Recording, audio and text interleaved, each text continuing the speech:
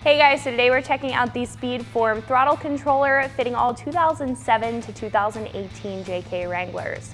So if you're looking for one of the easiest and most affordable ways to gain a little bit of extra throttle response in your JK, this option by Speedform is going to be a great choice to take a look into. So this is going to be great for those JK owners that have added larger wheels and tires or maybe some extra armor and they're feeling a little bit sluggish off the line and they're looking to gain a little bit of that throttle response back.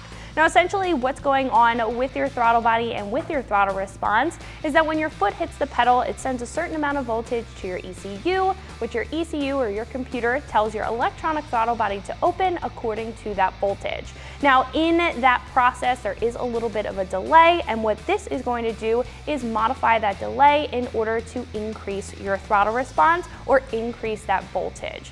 Now this option by Speedform is gonna do just that with four preset modes. Now you're gonna have an economy mode, a comfort mode, which balances economy and sport, a sport mode, as well as a race mode that drastically increases your throttle response. Now within each of those modes, you're gonna be able to adjust them up and down, perfect for the Jeep owner who's really looking to fine tune their throttle response. Now what I really like about this setup is that first of all, it is very easy to install and it's very user friendly. This is gonna come with a little device that's gonna have three tactile buttons, one to change the modes and two to adjust the levels up and down.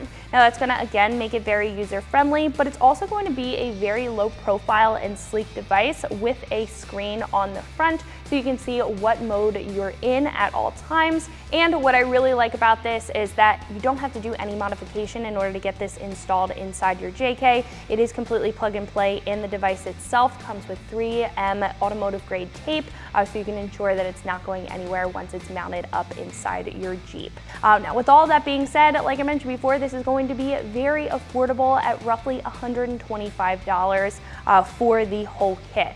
Now in comparison to some other options on the page, usually they're gonna range from about 150 up to $300 and some of those will just come with different features. There may be options that are a little bit more expensive that will come with Bluetooth compatibility. They may come with a couple more modes or they're gonna come with a smaller device or dial um, where you can actually really fine tune it. Now, my personal opinion, I think if you're not looking for all of those extra bells and whistles, but you are looking to fine tune your throttle response with a very user-friendly and sleek device like this, then this is going to be a great choice to take a look into. Now, one more thing, I would like to mention that this is not going to be a tuner. This is not going to modify any parameters inside your ECU, so you're not gonna get any horsepower or torque gains out of this. This is strictly going to focus on throttle response, so if that is the case and if that's what you're looking for, again, this is gonna be a great choice.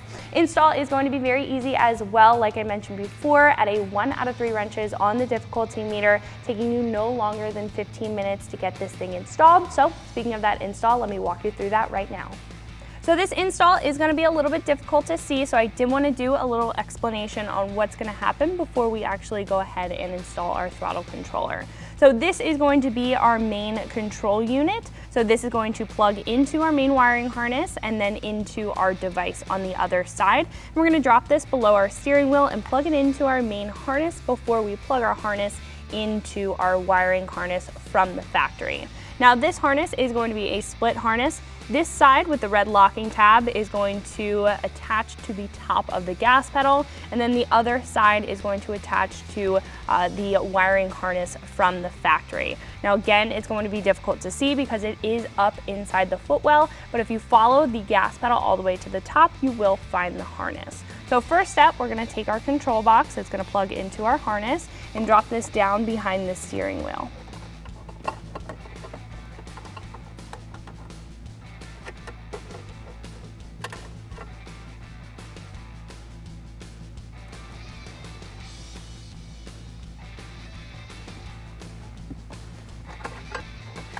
So once you get it through, you can reach up underneath the dash and pull the control box all the way to the bottom. Then what we can do is take our main plug and plug that in to the control box. Now we can head underneath towards the gas pedal and plug in our main wiring harness. So if you follow your gas pedal all the way up, you'll find a plug. We're just going to unplug that. Then what we can do is take our main control harness, plug the male connector into the back of the harness. Then we can take the other side of the harness, attach that to the top of our gas pedal, set that red locking tab, and then we're all set to go. So once you're all set with the bottom plug, what we can do is plug in our device. Now I have the wire right here. It's gonna be a little lightning cable. We can just plug it in on the side. Then we can peel the backing of the 3M tape. And you can place this wherever you like. I'm just gonna place it where it's easily accessible, right next to the steering wheel. Give it a good press.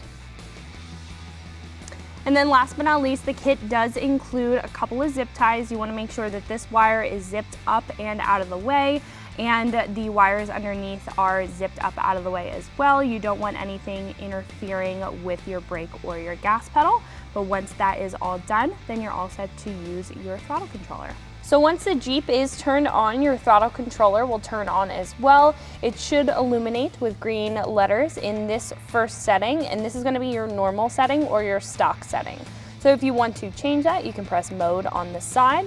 That's gonna put us in P1. Now this is your comfort setting. This is the balance between sport and economy. And again, you can go up as well as down with the two buttons on the side to fine tune it. Now if you hit the mode again, you're gonna be put into P2. This is going to be your sport mode. P3 is your race mode, and again, you are able to modify this and fine tune it. And then last but not least, you have EC, which is your economy mode, and then you'll be able to adjust this as well. Now, if you hit the button one more time for mode, it will reset everything back to stock um, and all of your stock settings. That's gonna wrap it up for my review and install. Make sure you like and subscribe, and for more videos and products like this, always keep it right here at extremeterrain.com.